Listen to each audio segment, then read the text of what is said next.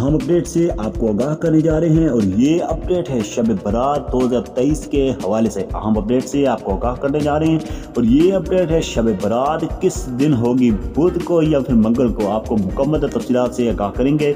रवा साल 2023 शब बरात के हवाले से रूत हलाल कमेटी ने खुद ऐलान कर दिया है। यह नजरीन, आपके लिए आ चुकी है बड़ी अहम खबर। रूत हलाल कमेटी की तरफ़ से शब बरात की दो हज़ार तेईस की तारीख भी बता दी है और दिन भी बता दिया गया। और इसके साथ साथ रोज़ा किस दिन होगा मुकम्मल तफसी जानने के लिए तमाम नादरीन और शैकीन से गुजारिश है चैनल को सब्सक्राइब कर लें।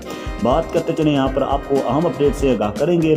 शब बरात दो हज़ार तेईस की तारीख और दिन के हवाले से और रोज़ा किस दिन होगा, ये भी आपको बताते चलें कि रवा साल दो हज़ार तेईस जो शाबान का चाँद नज़र आ चुका है, उसके बाद नज़र आने के बाद लाल कमेटी ने शब बरात दो हज़ार तेईस पाकिस्तान में और सऊदी अरब में शब बरात की जो तारीख बताई है, वो सात मार्च बताई है, दो हज़ार तेईस सात मार्च को शब बरात होगी। अब दिन की बात करते चलें, बुध या मंगल की रात को होगी। अब बात करते चलें तो आने वाले मंगल के रोज़ के दौरान जो आने वाला मंगल होगा, यानी कि ये जो हफ़्ता गुजरेगा, उसके बाद जो मंगल आएगा, उस रात शब बरात होगी और उसके साथ साथ अगले दिन बुध के रोज़ तमाम मुसलमान रोज़ा भी रखेंगे।